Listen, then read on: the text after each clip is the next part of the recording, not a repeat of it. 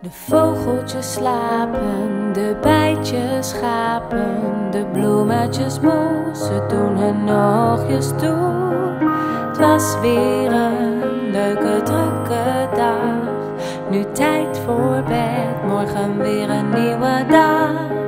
Met dikke pret en weer veel te doen, tandjes poetsen, de wc. Pyjama aan en dan op. Lekker onder de dekens, knuffeltje mee. Slaap, slaap maar zacht.